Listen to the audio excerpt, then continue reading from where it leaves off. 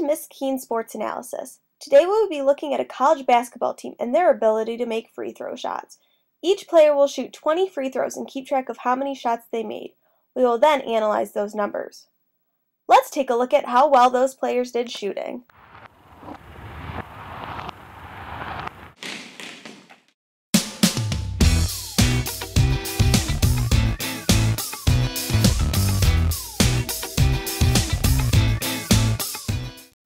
Now that all the players have taken their shots, we will line them up from least to greatest.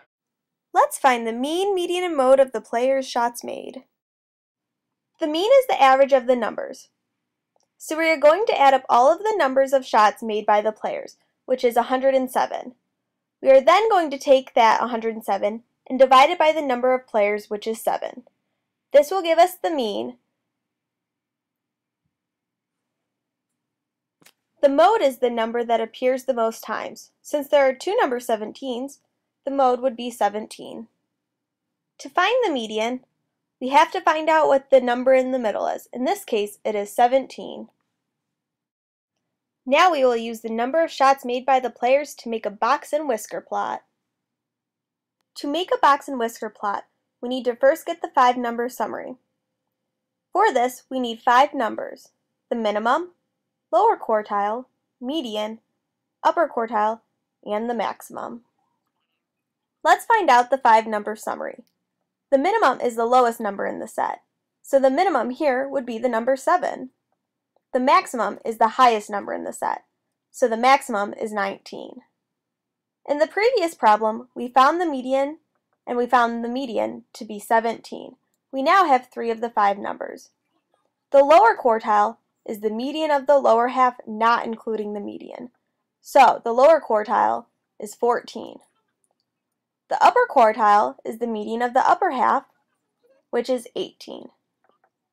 That is our five number summary.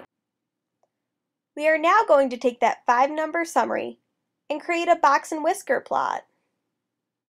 First, create the range of our box and whisker plot. The range is from our minimum, which is 7, to our maximum, which is 19. Next, mark down where the lower quartile is, the median, and the upper quartile, and draw a box around these numbers. This is our box and whisker plot.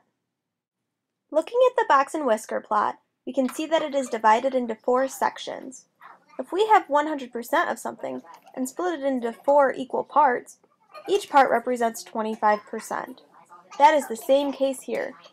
Each part of the box and whisker plot represents 25%. The inner quartile range contains two of the four parts, so that represents 50%.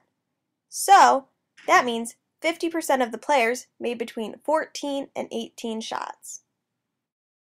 It looks like as long as the minimum doesn't play, this team will have a good chance of doing well this season. Thanks for joining Miss Keane Sports Analysis.